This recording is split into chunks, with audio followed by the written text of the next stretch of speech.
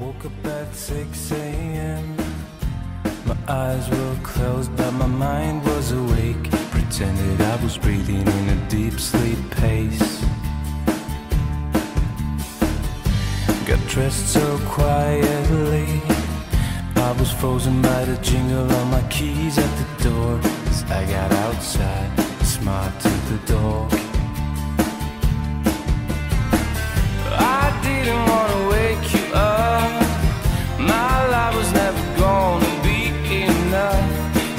Took my things